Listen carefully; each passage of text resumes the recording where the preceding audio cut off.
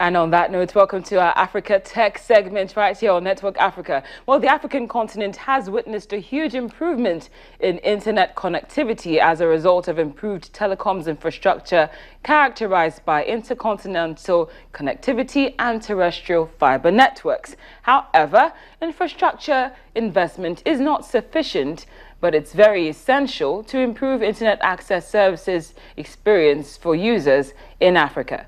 Many countries on the continent are affected by the slow growth in the development of internet access services, such as the high pricing of internet access services for end users, which cause low patronage.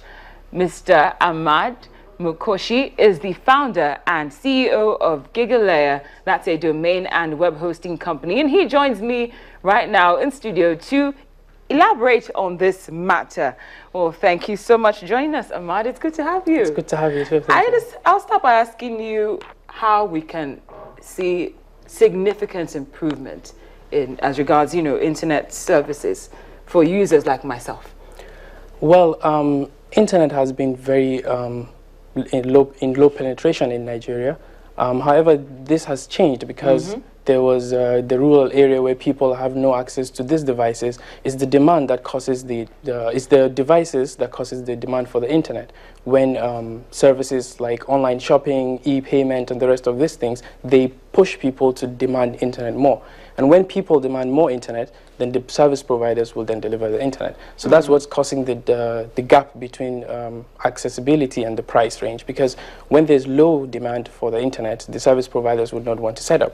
I'll cite an example for you on that. Um, I was in Sudan and uh, what I found out is that they have the cheapest internet than Nigeria.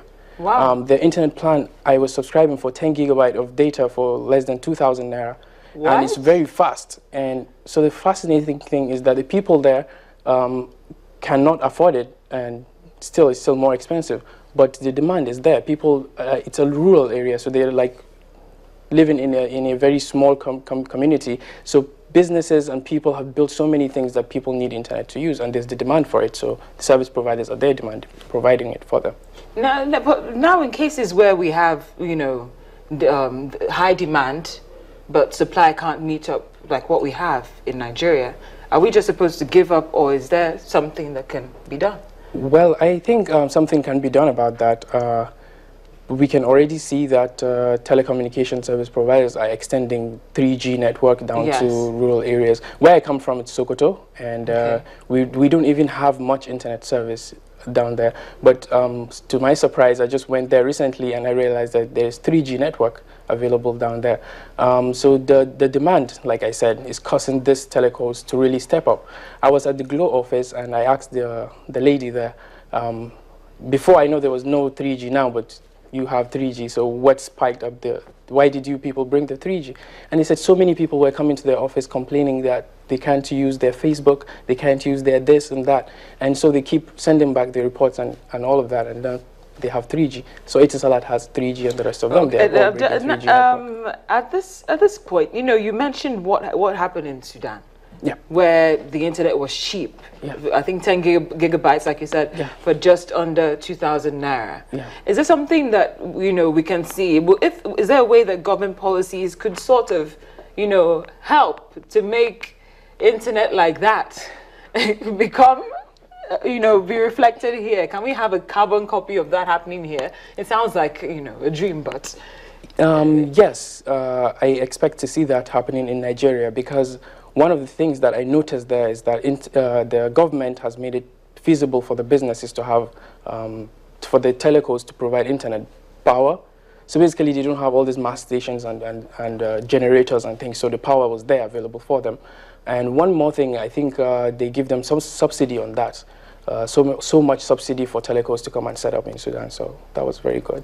And I guess Nigerian, Nigerian government can actually do something like that, encourage more telecommunication companies, which I think they're already trying, but I, I expect to see more being done on that. That will happen uh, maybe in time. But for now, what do you, uh, you know, I know this is your area. This is not my, I'm not a guru or anything, yes. but for now, people like me who are going to wait for this policy to come in place, what do we do until then to probably, you know, maximize the the quality of internet that we you know we make use of because these challenges are not exclusive to anybody. Any, everyone goes through them where it's just it's not difficult. Sufficient. Yeah, that's that's true. Um, so what can we do? Yeah, so there are um, startups um, because you know if you want if if the the grown ups are not able to solve the problem, the kids would definitely do.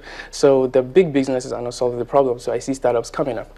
Um, so there was this startup that was at uh, um, Demo Africa, and what they do was they they make internet accessibility affordable and cheaper by masking, by putting on some devices that uh, do an intranet with the internet. So basically, say you, you browse a page on Wikipedia and you read an article, the, their devices would store that on the device such that anybody within that range that connects to the network does not need to connect to the internet. So basically the bill that was used for your own browsing of that page will be then served across uh, people on the platform. So basically they don't need to spend much and they offer that internet for free.